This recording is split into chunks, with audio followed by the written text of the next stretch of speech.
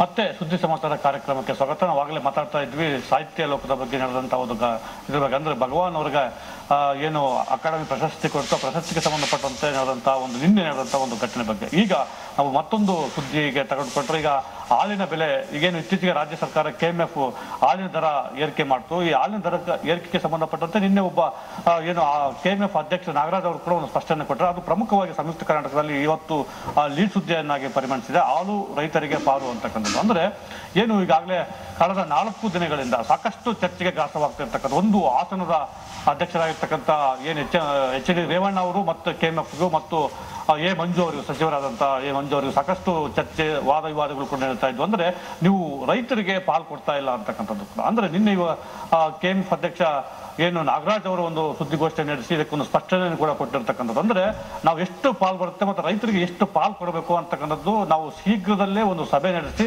ನಾವು ರೈತರಿಗೆ ಕೊಡಬೇಕಾದಂಥ ಹಣವನ್ನು ಕೊಡ್ತೀವಿ ಅಂತಕ್ಕಂಥ ಒಂದು ಮಾತನ್ನು ಅವರು ಸ್ಪಷ್ಟಪಡಿಸಿದ್ದಾರೆ. ಈಗಾಗಲೇ ಸಾಕಷ್ಟು ಕಳ, ಪ್ರತಿ ಬಾರಿ ಕೂಡ ಹಾಲಿನ ದರ ಏರಿಕೆ ಆದಾಗಲೂ ಕೂಡ ಅದೆಲ್ಲ ಒಂದು ಕಡೆ ರೈತರಿಗೆ ಸಿಗಬೇಕಾದಂಥ ನ್ಯಾಯ ಸಿಗ್ತಾ ಇಲ್ಲ ಅಂತಕ್ಕಂಥದ್ದು ಇದರ ಪ್ರಮುಖವಾದಂಥ ಒಂದು ಉದ್ದೇಶ.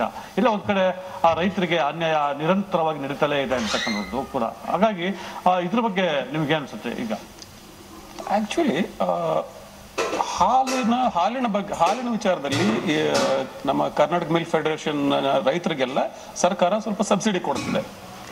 ಅದಕ್ಕಿಂತ ಮುಖ್ಯವಾಗಿ ಈಗ ಹಾಲಿನ ಡೇರಿಗಳು, ನಮ್ಮ ಕೆ ಎಂ ಎಫ್ ಡೇರಿಗಳು, ಹಣ ಮಾಡೋದು ಕೇವಲ ಹಾಲಿಂದ ಮಾತ್ರ ಅಲ್ಲ.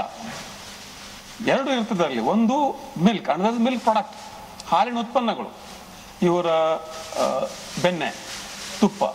ಚೀಸ್ ಇತರ ಉತ್ಪನ್ನಗಳ ಬೆಲೆ ಉತ್ಪನ್ನಗಳು ಈ ಹಾಲಿನಿಗಿಂತ ಹೆಚ್ಚಿನ ಲಾಭ ಉತ್ಪನ್ನದಲ್ಲಿದೆ. ಖಂಡಿತ. ಮಿಲ್ಕ್ ಪೌಡರು ಹಾಲಿನಿಗಿಂತ ಹೆಚ್ಚಿನ ಲಾಭ ಇದರಲ್ಲಿದೆ. ಯಾಕಂದ್ರೆ ಹಾಲು ಕೆಟ್ಟೋಗುತ್ತೆ ಜಾಸ್ತಿ ಇಡೋ ಇಡಕ್ಕಾಗಲ್ಲ ಇದು ಕೆಡೋದಿಲ್ಲ. ಹೌದೌದು. ಇದನ್ನ ನೀವು ದೇಶ ವಿದೇಶಗಳೇ ಮಾರಬಹುದು. ಇದಕ್ಕೆ ಶೆಲ್ಫ್ ಲೈಫ್ ಇರ್ತದೆ. ಆ ಕೇವಲ ಹಾಲಿನ ಬಗ್ಗೆ ಮಾತ್ರ ಮಾತಾಡೋ ಮಾತ್ರ ಹಾಲಿನ ಉತ್ಪನ್ನಗಳಿಂದ ಲಾಭ ಬರ್ತದೆ ಒಟ್ಟಾರೆ ಲಾಭ ಕೆ ಎಂ ಎಫ್ ತಾನೇ ಬರೋದು.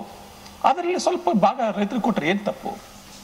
ಅದೇ ಅದೇ ಈಗ ಏನು ರೇ ಎಚ್ ಡಿ ರೇವಣ್ಣ ಅವರ ಒಂದು ಸವಾಲಾಗಿರ್ತಕ್ಕಂಥ ನಾನು ಮೂವತ್ತು ರೂಪಾಯಿಗೆ ಹಾಲನ್ನ ಶಿವ ಏನು ಆಸನದಿಂದ ಕೊಡ್ತೀವಿ ಅಂತಕ್ಕಂಥ ಒಂದು ಚಾಲೆಂಜ್ ಕೂಡ ಹಾಕಿದ್ರು ಕೂಡ. ಇದ್ರ ಬಗ್ಗೆ. ಮಂಜು ಅವರು ಕೂಡ ಸಾಕಷ್ಟು ಸಚಿವ ಮಂಜು ಕೂಡ ಅದಕ್ಕೆ ಸ್ಪಷ್ಟನೆ ಕೂಡ ನೀಡಿರ್ತಕ್ಕಂಥದ್ದು. ಇದು ಸಾಕಷ್ಟು ವಿವಾದಗಳು ಅಂದ್ರೆ ಪ್ರತಿ ಸರ್ಕಾರಗಳು ಬಂದಾಗಲೂ ಕೂಡ ಎಲ್ಲೋ ಒಂದ್ ಕಡೆ ಕೆ ಎಂ ಎಫ್ ಸಾಕಷ್ಟು ವಿವಾದಕ್ಕೆ ಒಳಗಾಗುತ್ತೆ ಅಂತಕ್ಕಂಥದ್ದಲ್ವಾ? ರೈತ ವ್ಯವಸಾಯ ಆಗ್ಲಿ ಅಥವಾ ಈ ಒಂದು ಪಶುಸಂಗೋಪನೆ ಆಗ್ಲಿ ಈ ಎರಡನ್ನು ಲಾಭದಾಯಕವಾಗಿ ಮಾಡುವಂತ ವ್ಯವಸ್ಥೆ ನಾವು ಮಾಡ್ತಾನೆ ಇಲ್ಲ. ರೈತನ ಅಸಹಾಯಕತೆಯನ್ನ ಅವನ ಸಮಸ್ಯೆಗಳನ್ನು ನಾನು ರಾಜಕೀಯವಾಗಿ ಹೇಗೆ ಬಳಸ್ಕೋಬೇಕು? ಆ ವಿಚಾರ ಮಾತ್ರ ನಡೀತಾ ಇದೆ ಖಂಡಿತವಾಗ್ಲು. ಅವರಿಗೆ ನ್ಯಾಯ ಸಿಗ್ತಕ್ಕಂಥ ಇದುವರೆಗೂ ಕೂಡ ರೈತರಿಗೆ ನ್ಯಾಯ ಅಂತ ಸಿಗ್ತಾನೆ ಇಲ್ಲ. ಇಲ್ಲ. ಇವತ್ತು ನೀವು ನೂರ ಎಂಟು ಸ್ಕೀಮ್ಗಳಿದಾವೆ. ನಾ ಇದೆ ಕರ್ನಾಟಕ ಸರ್ಕಾರದ ಸ್ಕೀಮ್ಗಳಿದಾವೆ. ನೀವು ಹಸುಗಳನ್ನು ತಗೊಂಡು ನೀವು ಹೈನುಗಾರಿಕೆ ಮಾಡಬಹುದಂತ. ಆದ್ರೆ ನೀವು ಸ್ಟ್ರಿಕ್ಟ್ ಆಗಿ ಯೋಚನೆ ಮಾಡಿ ಆ ಹೈನುಗಾರಿಕೆ ಕೂಡ ನೀವು ಲಾಭದಾಯಕ ಮಾಡಕ್ ಸಾಧ್ಯ ಇಲ್ಲ. ಎಷ್ಟೋ ಜನ ಮುಚ್ಚಿದ್ದಾರೆ. ಅಲ್ಲ ಸಾಕಷ್ಟು ಎಲ್ಲೋ ಒಂದ್ ಕಡೆ ರೈತರು ಸಾಕಷ್ಟು ಪ್ರತಿಯೊಂದು ಕ್ಷೇತ್ರದಲ್ಲಿ ತೆಗೆದುಕೊಂಡರೂ ಕೂಡ ರಾಜ್ಯ ಸರ್ಕಾರ ರೈತರನ್ನು ಯಾವುದೇ ಒಬ್ಬ ಪಕ್ಷ ಬಂದರೂ ಕೂಡ ರೈತರನ್ನ ಮುಂದಿಟ್ಕೊಂಡೇ ಚುನಾವಣೆಗಳು ಎದುರಿಸ್ತಾರೆ. ಮತ್ತೆ ಅವ್ರಿಗೆ ಮುಂದಿಟ್ಕೊಂಡೆ ನಾವು ಏನೋ ಯೋಜನೆಗಳನ್ನು ಮಾಡ್ತೀವಿ ಅಂತಾರೆ. ಆದ್ರೆ ಎಲ್ಲೋ ಒಂದ್ ಕಡೆ ನಿಜವಾಗ್ಲೂ ಅನ್ಯಾಯ ಆಗ್ತಿರೋದು ರೈತರಿಗೆ ಅಂತಕ್ಕಂಥ ನಿಜವಾಗ್ಲು ನಿಜವಾಗ್ಲು ನಿಜವಾಗ್ಲು ಓಕೆ ಇದನ್ನ ಹೊರತು ಮತ್ತೊಂದು ಸುದ್ದಿಗೆ ನಾವು ಈಗ ಇನ್ನೊಂದು ಇನ್ನೊಂದು ಜಲಮಂಡಳಿಯಲ್ಲಿ ಬೆಂಗಳೂರು ಜಲಮಂಡಳಿಯಲ್ಲಿ ಸಾಕಷ್ಟು ಅವ್ಯವಹಾರ ಆ, ಏನು ಆ, ಕೊರಿಯ ಬಾವಿಯಲ್ಲಿ ನಡೆದಂತ ಒಂದು ಅವ್ಯವಹಾರ ಕೂಡ. ಅಂದ್ರೆ ಅದಕ್ಕೆ ಸುಮಾರು ಆರು ಕೋಟಿಗೂ ಹೆಚ್ಚು ಹಣವನ್ನ ವ್ಯಯ ಮಾಡಿದ್ರು ಕೂಡ ಎಲ್ಲಿಯೂ ಕೂಡ ಕೆಲಸಗಳು ಆಗಿಲ್ಲ ಅಂತಕ್ಕಂಥದ್ದು. ಜಲಮಂಡಳಿಯಲ್ಲಿ ಇದು ಕೂಡ ಈಗಾಗಲೇ ಸಿಜೆಯಲ್ಲಿ ಕೂಡ ಅದ್ರ ಬಗ್ಗೆ ಪ್ರಸ್ತಾಪ ಆಗಿತ್ತು. ಆದರೂ ಕೂಡ ಇದುವರೆಗೂ ಕೂಡ ಅದ್ರ ಬಗ್ಗೆ ಯಾವುದೇ ತನಿಖೆ ಆಗಿಲ್ಲ ಅಂತಕ್ಕಂಥದ್ದು. ಇದು ಪ್ರಜಾವಾಣಿಯಲ್ಲಿ ಬಂದತಕ್ಕಂಥ ಆ, ವಿಶೇಷವಾದ ಸುದ್ದಿ. ಆ, ಮಂಜುನಾಥ್ ಹೆಬ್ಬಾರ್ ಅವರು ಬರೆದಂತ ಸಿಎಜಿ ರಿಪೋರ್ಟ್ ಆಧಾರದ ಮೇಲೆ ಬರೆದಂತ ಅಂದ್ರೆ ಸಿಎಜಿ ರಿಪೋರ್ಟ್ ಹೇಳಿದೆ ಇಷ್ಟು ಎಷ್ಟು ಬಾವಿಗಳನ್ನ ಕೊರೆಸಲಾಗಿದೆ. ಅಂದ್ರೆ ಅದನ್ನ ರಿಪೇರಿ ಮಾಡ್ಲಿಕ್ಕೆ ಇಷ್ಟು ಹಣವನ್ನ ನಿಯೋಜನೆ ಮಾಡಲಾಗಿತ್ತು. ಆದ್ರೆ ಅದ್ರದ್ದು ಯಾವುದೇ ರಿಪೇರಿ ಆಗಿಲ್ಲ ಅಂತಕ್ಕಂಥದ್ದು ಸಿ ಎ ಜಿ ವರದಿಯಲ್ಲಿ ಆ ವರದಿಯನ್ನು ಆಧಾರ ನೋಡಿ ಇದುವರೆಗೂ ಕೂಡ ತನಿಖೆ ನಡೆಸಲಿಕ್ಕೆ ಆದೇಶ ಮಾಡಿದ್ರು ಕೂಡ ಇದುವರೆಗೂ ಯಾವುದೇ ತನಿಖೆ ಆಗಿಲ್ಲ. ಅಂದ್ರೆ ಇಲ್ಲೆಲ್ಲ ಒಂದ್ ಕಡೆ ಅಧಿಕಾರಿಗಳ ಶಾಮೀಲಿನ ಹಿನ್ನೆಲೆಯಲ್ಲಿ ಇದುವರೆಗೂ ಈ ರೀತಿಯ ಪ್ರಕರಣಗಳು, ಕೇವಲ ಇದು ಜಲಮಂಡಳಿ ಮಾತ್ರ ಅಲ್ಲ, ಇಂತಹ ಪ್ರಕರಣಗಳು ಬಹುತೇಕ ಎಲ್ಲಾ ಇಲಾಖೆಯಲ್ಲೂ ಕೂಡ ನಡೆತಕ್ಕಂಥದ್ದು. ಹಿಂಗೆ ಅನ್ಸುತ್ತೆ ನೀವು ಗಮನಿಸಿರ್ತೀರಿ, ಎರಡು ವಿಚಾರಗಳು. ಒಂದು, ಈ ಕೊಳವೆ ಬಾವಿಗಳನ್ನ, ಜಲಮಂಡಳಿ ಏನ್ ಮಾಡ್ತದೆ? ಕೊಳವೆ ಕೊಳವೆ ಬಾವಿ ರಿಪೇರಿ ಮಾಡಕ್ ಖರ್ಚಾಕಿರ್ತಾರೆ. ಈಗ ಸಿಕ್ಕಿರೋದು ಸಿ ಎಸ್ ಆಡಿಟ್ ರಿಪೋರ್ಟ್ ಅಲ್ಲಿ ಮಾತ್ರ ಇದು. ಆರು ಕೋಟಿ ದೊಡ್ಡದೇನಲ್ಲ ಬೆಂಗಳೂರಿಗೆ. ಅದ್ರ ಆಡಿಟ್ ಅಲ್ಲಿ ಸಿಕ್ಕಿರೋದು ಅಷ್ಟೇ. ಇದರಿಂದ ಇನ್ನೂ ದೊಡ್ಡದಾಗಿರ್ತದೆ. ಅಲ್ಲ ಅದು ಇನ್ನೂ ಬೇರೆ ಬೇರೆ ಪ್ರಕರಣ ಸಾಕಷ್ಟು ಇದರಲ್ಲಿ ಬೇರೆ ಬೇರೆ ಇದರಲ್ಲಿ ಇರ್ತದೆ. ಯಾಕಂದ್ರೆ ಆಡಿಟ್ ಅಲ್ಲಿ ಸಿಗೋದು ಇಷ್ಟೇ. ಯಾಕಂದ್ರೆ ಆ ಬಾವಿ ಹಿಡಿದು ನೋಡಕ್ ಆಗಲ್ಲ ನೀವು. ಕೊಳೆ ಬಳಿ ಹಿಡಿದು ನೋಡೋದಕ್ಕೆ ಆಗೋದಿಲ್ಲ ಹಾಗೆ ಮಾಡಿದ್ರು ಇಲ್ಲ ಅಂತ ಹೇಳಿ. ಆದ್ರೆ ನೀವು ಆಡಿಟ್ ಅಲ್ಲಿ ಸಿಕ್ಕಾಕೋತೀರಿ ಎರಡು ಇನ್ನೊಂದು ಇದಕ್ಕೆ ಇದಕ್ಕೆ ಇದ್ರಂತ ಇನ್ನೊಂದು ಸಮಸ್ಯೆ ಇದೆ. ನೀವು ನೋಡಿರ್ತೀರಿ. ನಮ್ಮ ಕಾರ್ಪೊರೇಷನ್ ಅವರು ಹೂಳೆತ್ತಾರೆ ನೋಡಿ ಸ್ಟಾಮ್ ಡ್ರೈನು ಹೂಳು ಎತ್ತಿ ಬಿಸಾಕ್ತಾರಲ್ಲ? ಅದು ಅದು ಯಾರು? ದೇರ್ ಇಸ್ ನೋ ಮಾನಿಟರಿಂಗ್ ಏನಾಗುತ್ತೆ? ಇವು ಅಕಸ್ಮಾತ್ ಎಲ್ಲೋ ಅಕೌಂಟ್ ಅಲ್ಲಿ ಎಲ್ಲೋ ಒಂದು ಬಿಲ್ ಇವರು ಪ್ರೊಡ್ಯೂಸ್ ಮಾಡದೇ ಇರುವಾಗ ಅಥವಾ ಎಲ್ಲೋ ಒಂದು ಅಕೌಂಟಿಂಗ್ ಲ್ಯಾಬ್ಸ್ ಇರುವಾಗ ಸಿಕ್ಕಾಕೋತಾರೆ ಅಷ್ಟೇ. ಆದ್ರೆ ಈ ಆರು ಕೋಟಿ ಹಿಂದೆ ದೊಡ್ಡ ಹಗರಣ ಇರ್ತದೆ. ಅದು ಸರಿಯಾದ ತನಿಖೆ ಆಗ್ಬೇಕು.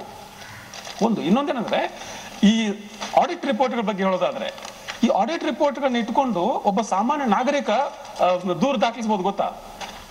ಸಾಮಾನ್ಯ ನಾಗರಿಕ ನನ್ನ ಸಿ ಎ ಜಿ ರಿಪೋರ್ಟ್ ಇಟ್ಕೊಂಡು ಇಂಥ ಅಧಿಕಾರಿ ಹಿಂಗೆ ಆಡಿಟ್ ರಿಪೋರ್ಟ್ ಇದೆ ತನಿಖೆ ಆಗಲಿ ಅಂತ ನೀವು product prevention of corruption act ಅಲ್ಲಿ ಪೊಲೀಸ್ ಪೊಲೀಸ್ ಕಂಪ್ಲೇಂಟ್ ಕೊಡಬಹುದು ಹದಿನೈದು ದಿವಸದಲ್ಲಿ ಅವ್ರನ್ನ ಅಕೌಂಟ್ ಇದನ್ನ ಮಾಡ್ಬೇಕು ರೀಕನ್ಸಲ್ ಮಾಡಬೇಕು. ಖಂಡಿತ ಖಂಡಿತ. ಇದು ಬಹಳ ತುಂಬಾ ಗಂಭೀರವಾದ ವಿಚಾರ ಸಿ ಸಿಎಜಿ ಜಿ. ಇಲ್ಲಿವರೆಗೂ ನಾವು ಇದರಲ್ಲಿ ಕೇಂದ್ರ ಸರ್ಕಾರದಲ್ಲಿ ಯಾವುದು ನಿಮ್ಮ ಕಲ್ಲಿದ್ದಲು ಹಗರಣ ಟೆಲಿಕಾಂ ಹಗರಣ ಬಿಟ್ರೆ ಜಿ ರಿಪೋರ್ಟ್ ಸರಿಯಾಗಿ ಯಾರು ಬಳಸ್ಕೊಂಡೇ ಇಲ್ಲ. ಇಲ್ಲ ಖಂಡಿತವಾಗ್ಲೂ ಏನು ಪ್ರತಿ ವರ್ಷ ಸಿ ಎ ಜಿ ವರದಿಯನ್ನು ಬಹಿರಂಗಪಡಿಸುತ್ತೆ.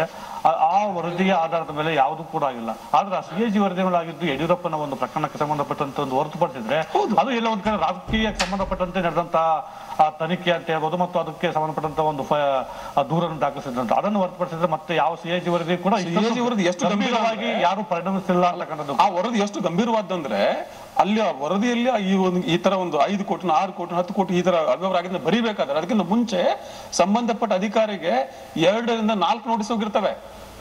ನೋಡಪ್ಪ ಹಿಂಗೆಲ್ಲ ನಿಮ್ಮ ಅಕೌಂಟ್ ಅಲ್ಲಿ ಮ- ತಪ್ಪಾಗಿ ಲೋಪ ಇದೆ ಇದನ್ನ ಸರಿಪಡಿಸ್ತಿ ಅಂತ ನಾಲ್ಕು ಆರು ಸಲ ನೋಟಿಸ್ ಹೋಗಿರ್ತವೆ.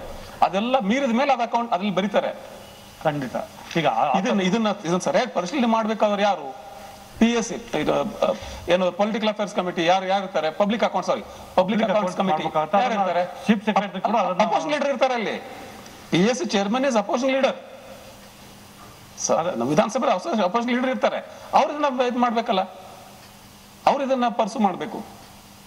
ಓಕೆ ಇನ್ನು ನಮಗೆ ಸಾಕಷ್ಟು ವಿಷಯಗಳು ಚರ್ಚೆ ಮಾಡಬೇಕು. ಇದು ಇದೇ ರೀತಿಯಾದಂಥ ಒಂದು ಏನು ಆ ಕೆಲವೊಂದು ಇಲಾಖೆಗಳಲ್ಲಿ ಇರ್ತಕ್ಕಂಥ ಸಾಕಷ್ಟು ಘಟನೆಗಳು ಕೂಡ ಇವೆ. ಆದರೂ ಕೂಡ ಎಲ್ಲ ಒಂದು ಕಡೆ ತನಿಖೆಗೆ ಹಿಂದೇಟ್ ಆಗ್ತಾ ಇರ್ತಕ್ಕಂಥದ್ದು. ಕೇವಲ ಒಂದು ಕ- ಕೆಲವು ಪಕ್ಷಗಳನ್ನು ಕಣ್ಣೋಡಿಸ್ಲಿಕ್ಕೆ ಸರ್ಕಾರಗಳು ತನಿಖೆಯನ್ನು ಆದೇಶ ಮಾಡ್ತಾವೆ. ಆದರೆ ತನಿಖೆ ಅದು ಪ್ರಗತಿಯಲ್ಲಿ ಆಗೋದಿಲ್ಲ ಅಂತ ಅನ್ನೋದು ಹೀಗೆ ಇನ್ನೂ ಸಾಕಷ್ಟು ಸುದ್ದಿಗಳಿವೆ ಅದು ಕೂಡ ನಮಗೆ ಸಮಯ ಮೀರ್ತಾ ಇದೆ. ಆ, ಇಷ್ಟೊತ್ತು ನಮ್ಮ ಜೊತೆಗೆ ಚರ್ಚೆ ಮಾಡೋದಕ್ಕೆ ನಿಮಗೆ ಧನ್ಯವಾದಗಳು. ಇಷ್ಟು ಸುದ್ದಿಗಳು. ಎಂದ್ರೆ ಇವತ್ತು ಸಾಕಷ್ಟು ನಮಗೆ ಸಮಯ ಅವಕಾಶದಿಂದ ಇವತ್ತು ಇಷ್ಟು ಸುದ್ದಿಗಳನ್ನು ಮಾತ್ರ ನಾವು ಚರ್ಚೆ ಮಾಡಲಿಕ್ಕೆ ಸಾಧ್ಯ ಆಯಿತು. ಇನ್ನೊಂದು, ನಾ, ಮತ್ತೆ ಸಾಕಷ್ಟು ಸುದ್ದಿಗಳ ಮತ್ತೆ ನಾಳೆ ಏನು ಬಂದಂತ ಪತ್ರಿಕೆಗಳಲ್ಲಿ ಮತ್ತೆ ನಾಳೆ ನಾವು ಈ ಸುದ್ದಿಗಳನ್ನು ವಿಶ್ಲೇಷಣೆ ಮಾಡ್ತಕ್ಕಂಥದ್ದು. ಅಲ್ಲಿವರೆಗೂ ನಮಸ್ಕಾರ.